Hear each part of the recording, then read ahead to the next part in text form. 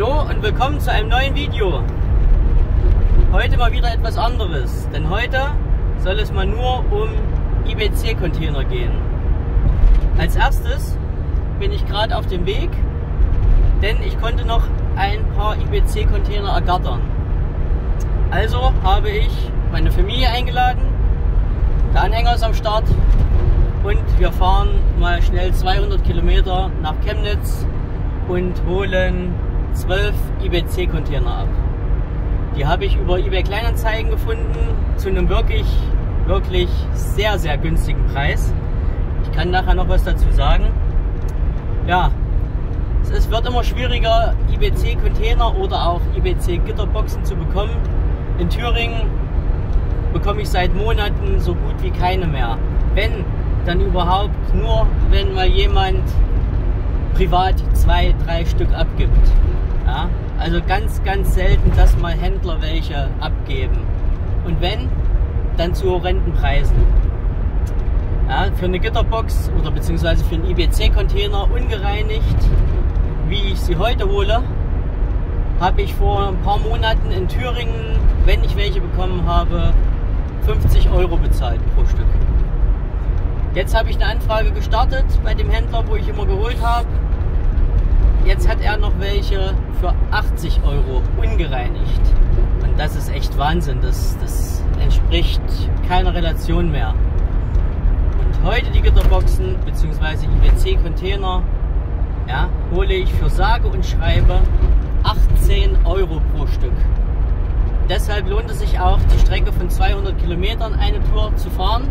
Ja, so komme ich mit Spritverbrauch etc. allem drum und dran auf rund 25 bis 26 Euro pro Gitterbox mit IBC-Container. Und das ist wirklich unschlagbar. Das werden wir jetzt, wie gesagt, als erstes machen.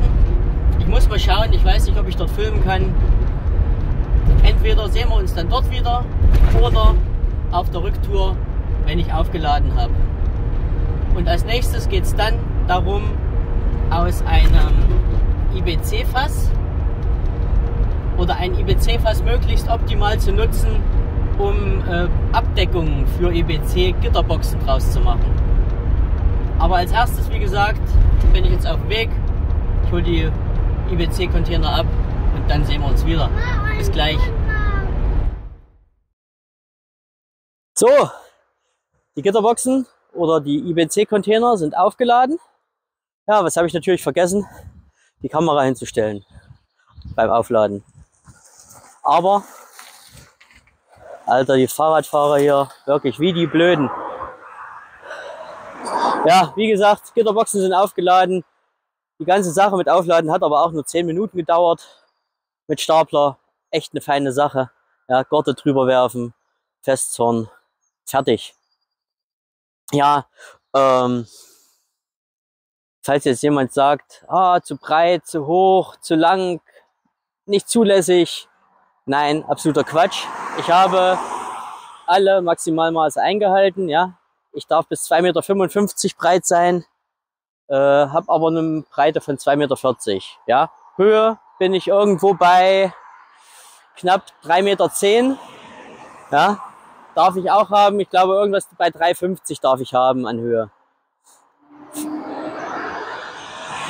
Ja, die ballern hier lang. Echt der Wahnsinn, gell?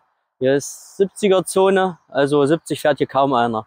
Ich stehe hier gerade am Waldweg, wir haben noch mal kurz Pause gemacht mit den Kids, mit dem Hund noch mal raus, ja, noch mal ein bisschen die Beine vertreten. Jetzt fahren wir noch irgendwo Mittagessen und dann geht's wieder nach Hause. Wie gesagt, 200 Kilometer mit der Ladung, wird schon lustig. Wir sehen uns wieder, wenn ich zu Hause bin.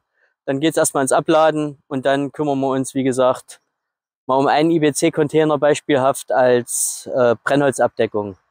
Ich bin gespannt, ob das so klappt, wie ich es mir vorstelle. Wir sehen uns gleich wieder. Bis dann. Ja, Freunde, weiter geht's mit dem zweiten Teil des Videos. Äh, ich muss mich dafür entschuldigen, dass ihr mich vielleicht ein bisschen schlechter versteht. Ich habe momentan kein Mikro. Irgendein Anschluss ist in meiner Kamera kaputt äh, sodass er den Ton nur sporadisch aufnimmt. Ich hatte in letzter Zeit des Öfteren Probleme damit, deshalb habe ich mich jetzt dazu entschieden, bei diesem Video erstmal keinen Ton aufzunehmen und mir künftig dann ein neues äh, Aufnahmegerät zu kaufen und ähm, dann darüber den Ton aufzunehmen. Aber heute muss es erstmal so gehen. Ist leider ein bisschen windig. Ja? Ich bin mit den äh, IBC-Containern gut zu Hause angekommen, hat alles super geklappt. Ich muss ehrlich dazu sagen, die stehen jetzt auch schon wieder knappe acht Wochen hier. Also ich bin nicht dazu gekommen, hier irgendwo weiterzumachen an dieser Stelle. Auch heute werde ich so machen, ich werde diesen IBC-Container nehmen und äh, die IBC-Blase ausbauen ja? Äh, und daraus dann versuchen ein paar Abdeckungen zu machen, die ich dann auch wieder für die IBC-Gitterboxen nehmen kann zum Brennholz abdecken. Ich bin mal gespannt. Wie gesagt, ich kenne viele amerikanische Kanäle, die schneiden entweder nur Deckel und Boden ab, der Rest wird entsorgt und nehmen nur Deckel und Boden als äh, Abdeckung. Oder dann kenne ich Kanäle, die schneiden sie einmal diagonal durch und haben dann im Prinzip auch nur zwei Abdeckungen. Ich möchte jetzt aber mal schauen, wie viele Abdeckungen man aus einem IBC-Container rauskriegen kann. Dazu baue ich jetzt erstmal die Blase aus, aus der Gitterbox. Ja? Dazu muss ich hier vier Schrauben lösen. Hier, hier und die hier drüben. Ja? Dann wird, werden die beiden äh, Streben rausgenommen und dann kann man den Container kippen und kann auch die Blase rausziehen. Das mache ich jetzt. Ihr seid dabei. Los geht's.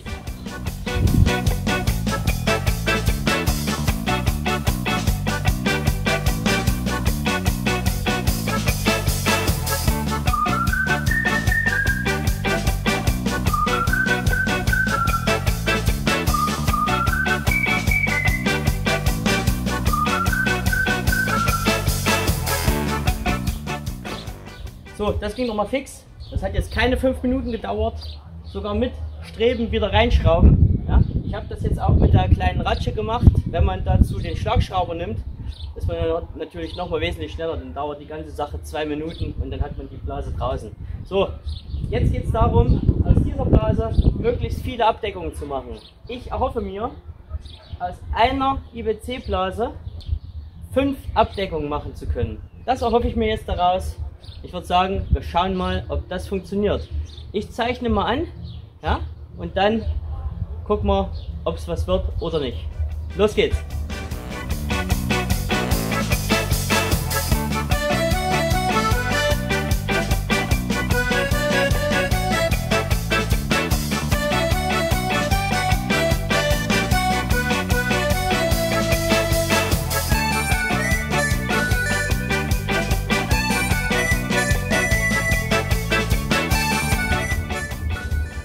So, angezeichnet ist es. Jetzt werde ich die Flex holen, werde das schneiden und dann erkläre ich euch, wie ich mir das vorstelle. Weiter geht's.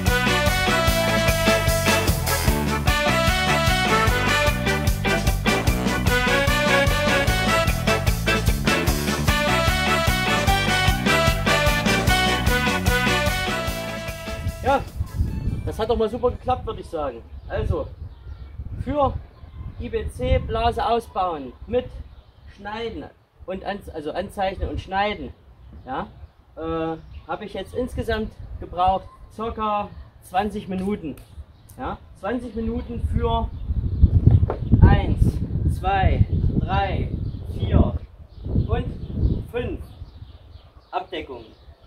Ich denke, das kann sich sehen lassen. Und zwar fünf aus dem Grund. Aus diesen beiden, die sind ja nun nicht lang genug, um den kompletten IBC abzudecken, werde ich zwei machen. Und zwar schneide ich das Teil nochmal in der Mitte durch ja, und niete eine Hälfte davon mit ein paar Blindnieten an dieses Teil an. Und schon habe ich wieder eine Abdeckung, die lang genug ist. Und beim nächsten IBC bleibt dir dann wieder so ein Teil übrig. Und da habe ich ja dann noch die eine Hälfte von hier. Ja, also komm, bekomme ich aus einem IBC hochgerechnet sogar 5,5 Abdeckungen. Ja, und das passt dann einfach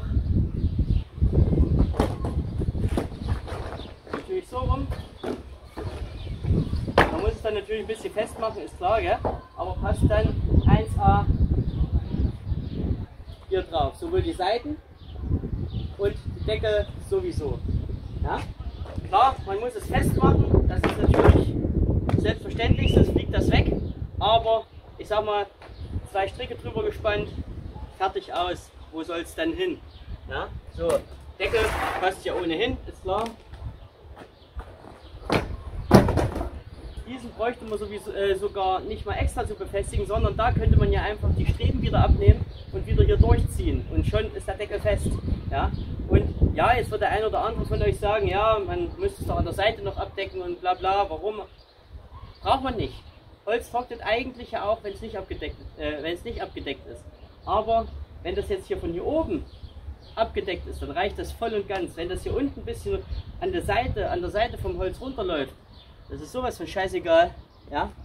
Wichtig ist, dass nicht der Hauptregen oben drauf kommt.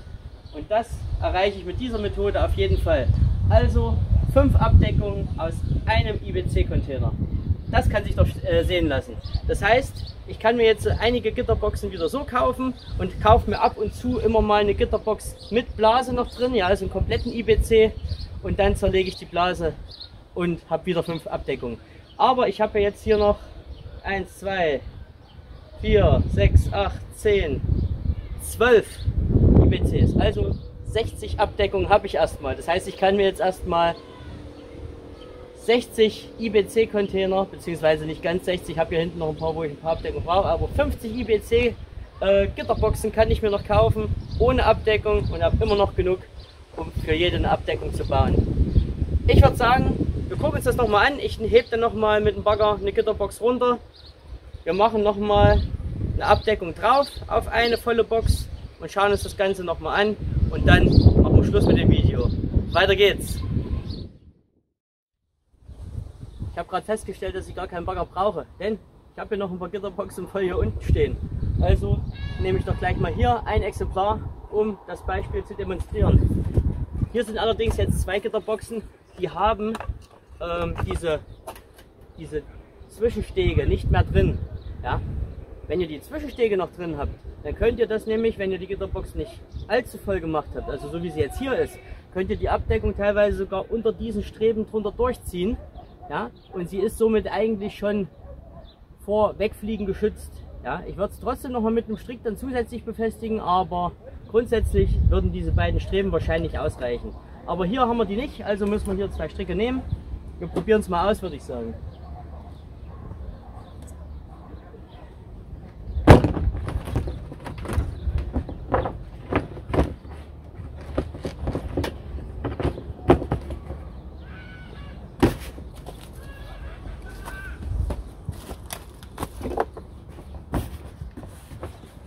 Ja, ich würde sagen, passt ganz genau. Ja, gefällt mir sehr gut. Jetzt mache ich noch zwei Stricke dran. Dazu habe ich hier ein bisschen blaue Schnur gefunden. Ob die nun blau, gelb, rot, grün oder schwarz ist, ist eigentlich Wurst. Die hatte ich halt noch liegen. So,